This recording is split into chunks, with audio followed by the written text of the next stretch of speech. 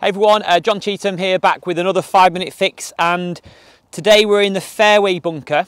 So the objective here really is to, is to get the ball obviously out the sand but try and progress it as far as you can to try and get some distance on the hole. Um, so the first thing I say is assess the lip of the bunker. Now this one here, um, there's a little bit of height on the bunker.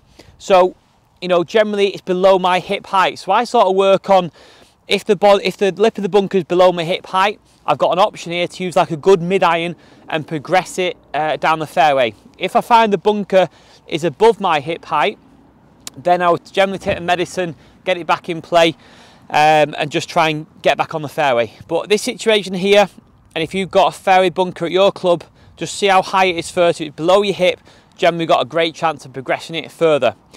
So the key thing in bunker play, when I'm playing fairway bunkers, here's my top tips really. We want to try and get the ball um, as cleanly as we can and almost try and visualize getting the sand after the ball. So the worst thing we can do with fairway bunkers, and a lot of people try and do, once they get us up to the ball, they take the backswing and the weight tends to fall back because they want to try and help it out. The club hits the sand, that kills all the speed. So if you can see here, the little drill we've got set up in the bunker, and if you've got time for a practice bunker, just have a look at this. Just select your ball and the sand, just drawn a little square here afterwards, and that gives me the focus point of trying to hit the ball and then I want to take out this box of sand afterwards.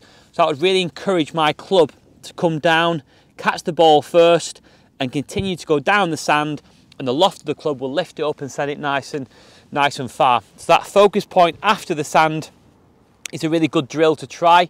I appreciate on a round of golf we can't we can't draw in the sand, but you can have that visual um, aim of somewhat just after the ball to focus you and really drive you through the sand. So it's a good tip, works for a lot of people that think somewhat after the ball on fairway bunker shots. Then we get into the shot, and the other tip I like to give a lot of golf fairway shots. So ball position here, just forward of centre, and then personally I like to grip the club a little bit tighter than I would do normally. Okay, now Often in golf it's advantageous to be more relaxed, but in the bunkers, if we just grip a little tighter, what that'll do is that'll tighten my muscles, maybe allow that club to hit a little bit cleaner on the ball. If I'm super relaxed, I might be more inclined to hit into the sand a bit early. So grip pressure up a little bit. And all we're looking to do then is try and hit the ball first, take out that box of sand afterwards. Let's give it a go here. There we go. I probably won't hit a better one than that all day. Um, that was perfect. And if we can see here in the sand, the ball was right there. And I've continued to go down. I've totally cleaned out that box. I've hit a six iron there. So a six iron, I've got the ball a really good distance on that. I'm really happy with the sound.